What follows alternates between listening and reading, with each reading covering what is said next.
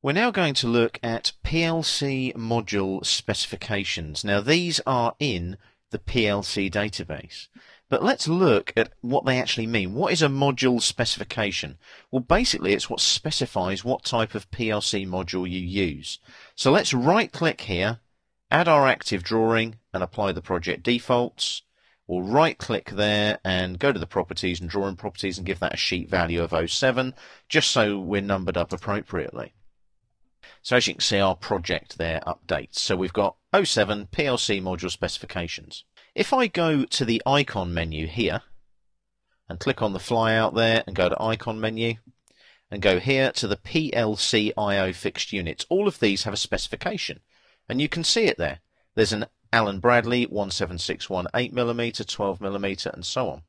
So let's go for a 16mm there. So it's a 16mm and it's an L16 AWA 10 inch 6 out.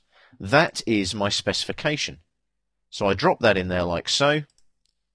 And there we are. Take a few seconds to think about it because it's putting all the data in there.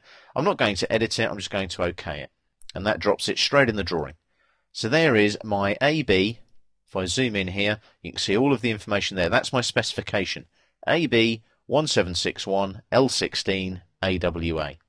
So that is my actual PLC module specifications. So, if I wanted to edit or perhaps create a custom version of this, what I would need to do is go to other tools here and go back here. Remember the PLC database file editor?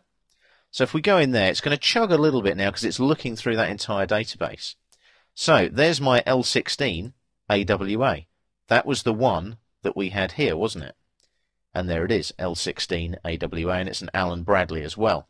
If I scroll up a little bit, you can see the Allen Bradley specification right there. Now, let's say that I want to create a new module. So this is where I can add my own module specification. So there it is there. It's an Allen Bradley 1761 Micrologix L16, and the code is AWA, like so. So I could add a new module here quite happily. But what AutoCAD block do I insert? What AutoLISP file do I run? Now again, I didn't edit those earlier, did I, in the previous exercise? But what I could do here is look at the module box dimensions. Let's just set English dimensions for now, and I'll OK that. If I just OK that now, what it does is it brings in a blank one. And there's my AWA right there that I've added to the list. So if I do a done and an insert now, what'll happen? Let's have a look. There's the AWA it actually creates a parametric module for me with those specifications. So there's my AWA there. I OK that. And if I just zoom out slightly, make sure I don't clash with my non-parametric one, if I just click there, do a spacing there of 25, let's say, and I'll do insert all, I'll OK that and OK that again.